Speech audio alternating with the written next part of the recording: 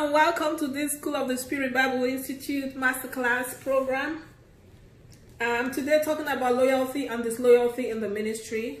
Um, loyalty is simply saying that I'm just to stay like this. I'm not to change. I won't let situation change me.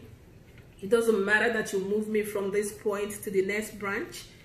It doesn't matter that I got used to the member from that branch and you move me from that branch to the other branch.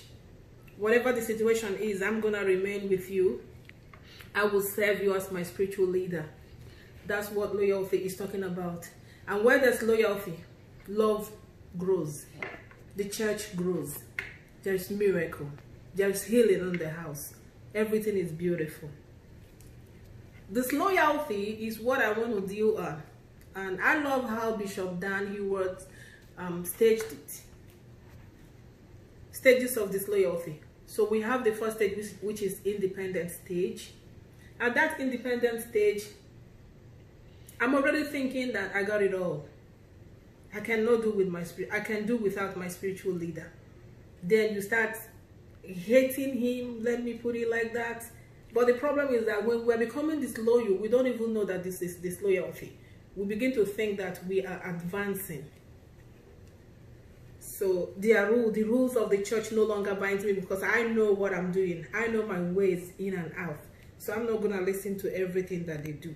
Your spiritual father calls you and say, hey, Stella, can you come to the church? We have, um, I, I invited a couple of people. We need to have a crucial meeting.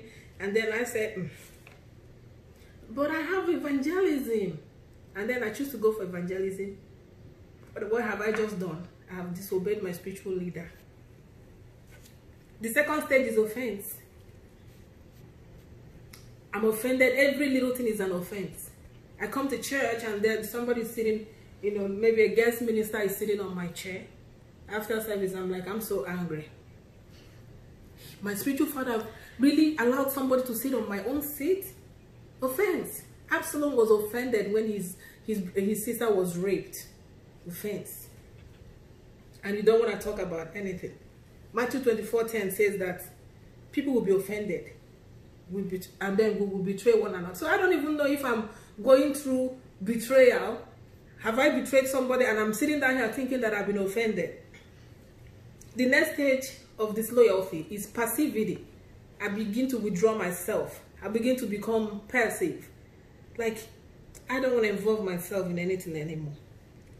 So let's say there's a cell group in the church maybe there's something in the church that where all of us should be involved or we have been involved. All of us is all of a sudden you see me withdrawing taking back. Not anymore. I want to keep to myself. You know i become so quiet all of a sudden. The bible says that absalom was quiet for two years. He never said nothing never said neither good nor bad so I will become unconcerned. Somebody's telling me, oh, this is what we need. Um, there's communion coming up on Sunday and we don't even have the cups. And I'm like, so what a minute, what's my problem with that? You see, unconcerned. It's a problem. And um, if the senior pastor does not get rid of me, I will get to the stage that is called critical stage. At this critical stage, I'm seeing fault. All I see is nothing but fault. Over familiarity. I've seen it all. I know the size of my spiritual leader.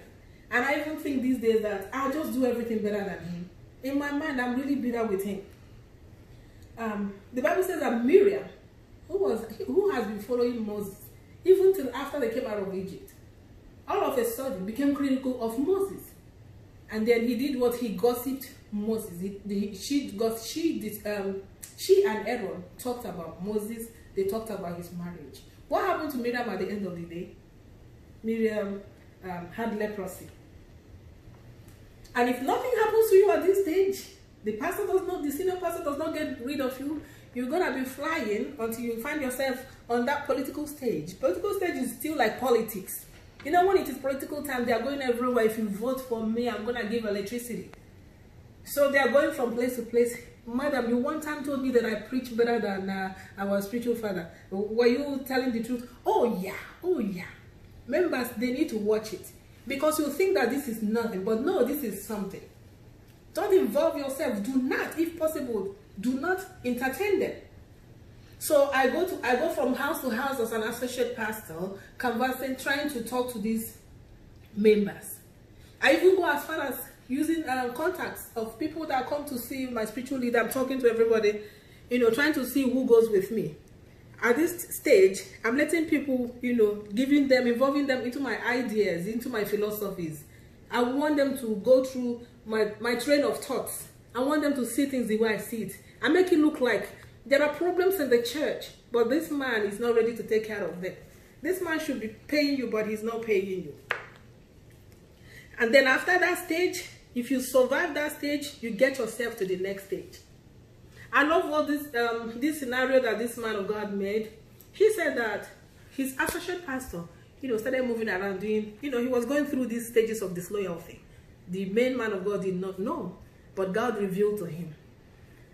And then gave him that Bible citation in the uh, book of Proverbs 22 verse 10 that says, cast out the scoffer and the contention will leave. So he came to church the next day and told the associate pastor, I relieve you of all your duties. We are done with you. He could not deny it because he knew what he has been doing. He didn't deny it. He said, well, yeah, it's okay. You can take it. But can I just stay around the church? The pastor said, no. Because God told him, told the man of God, get rid of him. So the senior pastor got rid of him. And everything ceased. The scoffer was casted out and contention left. And that was one time he had peace in the church. He knew they were talking about him, but he didn't know what was going on.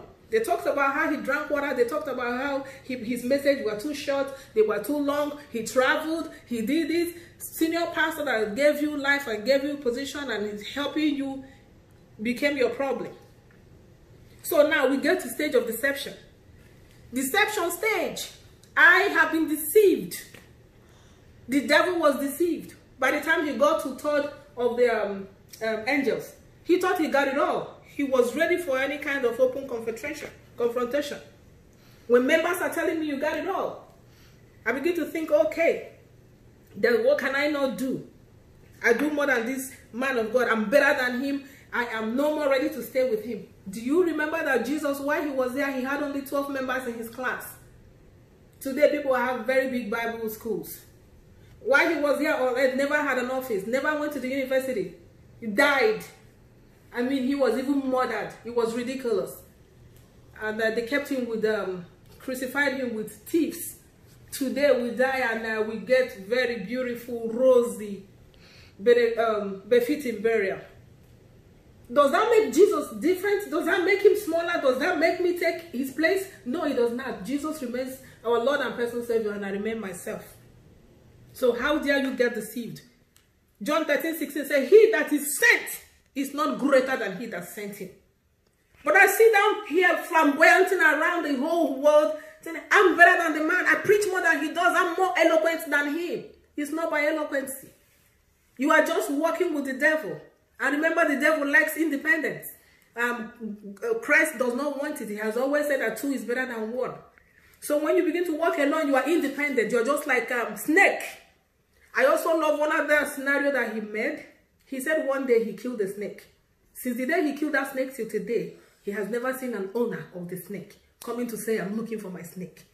Some other time he was walking on the street and um, he found he saw this sheep that kind of staggered as if the sheep was going to fight him.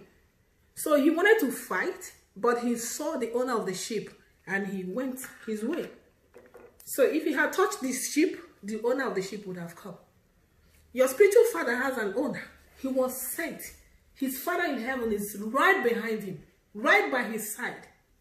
If you try to attack him, you are attacking yourself. Sometimes I feel very sorry for the people, all these people on the social media. You see all these men of God, all these um, um, um, GOs, general overseers, they come and write, you know, make a video, and you see people coming to edit the video and begin to, you know, talk about, how dare you talk about a man of God when you cannot be a man of God? How dare you castigate with their work when you cannot do one? How dare you? How dare you? You don't even sit down and think about the sin of the Holy Spirit. Do we think? Do we still think about the sin of the Holy Spirit? Oh yes, there's something called the sin of the Holy Spirit. So I'm sitting down thinking because I prayed for somebody and that person gets um, Uh, so that person falls down, and I'm like, okay, what else can I not do in this church? I have seen one who came into the church. The senior pastor picked him up, picked him up, trained him, made you know, he became a pastor under that church, became a reverend, and then he got to a critical stage where he began to talk, move around, got to political stage where he started castigating his spiritual leader. He's not going to end well. Judas did not end well with Jesus. Judas, what, what happened to him? He hung himself. Absalom did not end well because he became critical, got to the political stage, got to open confrontation stage where he was calling people, yeah, you want to see my father? Oh, you cannot see him. He has cancelled every appointment and it, my father is, is ridiculous. He's not even delegating us to help. So I'm so sorry. He needs prayers. You go to that point where you talk about your spiritual father like that. We get to the, the um, stage of open rebellion. You don't care anymore. I'm ready to fight. This one, you come face to face, like, listen to me. I'm starting my church down the street. And I will show you that you did not call me. The God that called me will answer for me. And if you bother me, I will pray against you. And they're looking at you. They don't talk too much. Lucifer gained the support over a third of the angels. In my mind, I have gotten the support of the church. And that is why I'm causing my spiritual leader. It's not going to work. Miriam died of leprosy.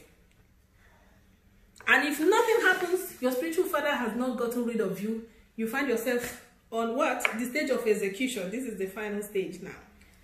First um, Samuel 15, 23 says, For rebellion is a sin of witchcraft. And if rebellion is a sin of witchcraft, then Exodus 22 verse 18 has said, Suffer not the witch to do what? To live. So where do you think you are now? God will displace you to replace you. God will displace you to do what? To replace you. So you will just be replaced. And you think you're to get okay, you, will, you won't get it okay. So I'm to um, stop right here so that the next person